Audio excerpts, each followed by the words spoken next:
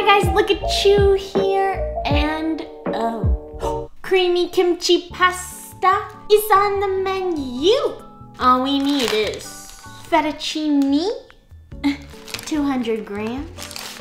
And look at this hack. Yes! And since it's called creamy kimchi pasta, we obviously don't need kimchi. What is this? This is the giant kimchi container I got a year ago. Oh, it's potent. I'm a little afraid to use it. All right, I'll try it. Don't try this at home, kiddos. I'm a professional kimchi eater. If you do not see this video, it is because you know why. Mm. Oh! Oh, that's sour. Okay, a bit too sour. I'll save this for uh, bedtime. All right, we got our new kimchi. Oh, look at that. So fancy, so clean. Looks like an Apple MacBook unboxing video. Oh, let's try it out. The perfect amount of fermentedness. One cup of kimchi.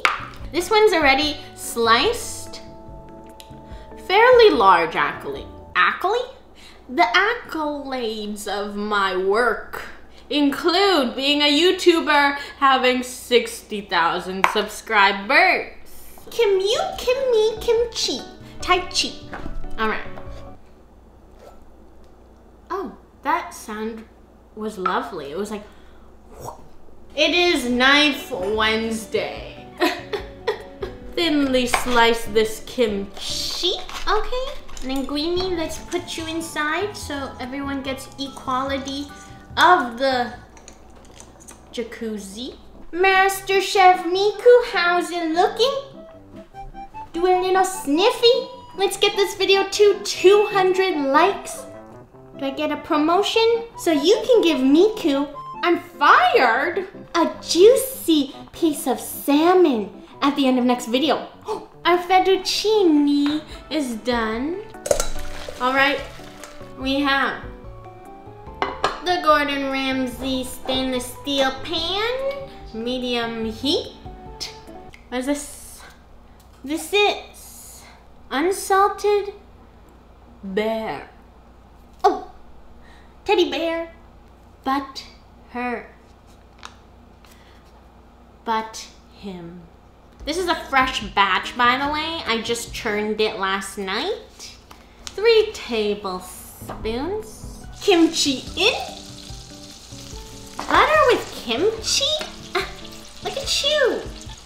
That is genius. Are you Albert Einstein?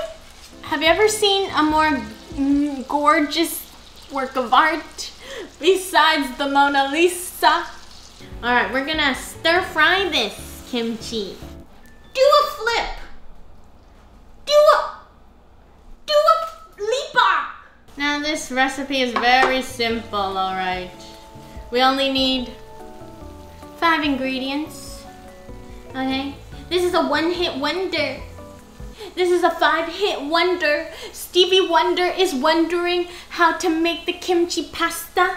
We need heavy cream, 35% heavy, just like my heart.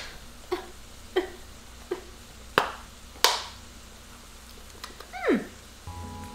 One cup. Multitasking queen. We need a quarter cup pasta. Mmm, the delicious juicy pasta water, the forbidden juice. Okay, a quarter cup into the heavy cream. We want to prevent the cream from curdling. That is the hardest part about cream sauces is sometimes curdles and then you're like, oh no, my turtle. So the starch from the pasta water, as well as the heat from the pasta water, will temper. Oh, fancy cooking term. Temper the cold cream. So it won't be so much of a temperature shock when it goes into the hot pot. After five minutes, it should look like this. Now we're gonna add our temper heavy cream. Then we're gonna do a little mixy mix. We're gonna do a little mixy mix. Oh! Simmer this until the cream has halved. We need one cup of Parmesan grated. All right, after five minutes or so, we can add in our Parmesan. Look at that. We're gonna let it simmer for another minute. Do you remember? The 21st night of September. Look at this. Uno. That's how long it should take to reveal the bottom with the spatula. Uno. Look at this consistency, scientists, whoever is watching. All we need is to add our fettuccine with a little bit of heat. Our pasta has loosened up. We got basil for garnish. All right, we'll have like a couple stem cells. Roughly chop it all around the world, all the boys and girls. And let's dig in. Wow. All right, so this is the finished product. And I'm super excited. Oh! Oh! Look at that. This is for you guys. I'm shipping it to you. Just be patient. All right, cheers. First bite's for you. Mm. Nom nom nom. When you first take a bite, you get hit with that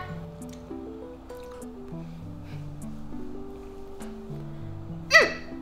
umami, savory, and a slight tang from the kimchi. The creaminess definitely cuts the tanginess of the kimchi in half, balances it out.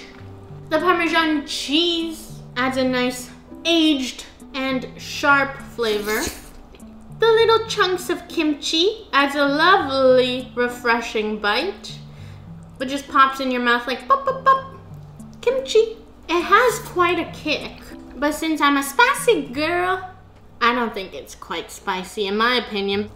You can taste the garlic and the onion flavor from the kimchi. Not too salty, since we didn't add any additional salt. It has a perfect balance. If you have a giant container of kimchi like I do, this dish is another way to use it up. And I'll see you guys next time. Miku gets tuna rice ball. Eat.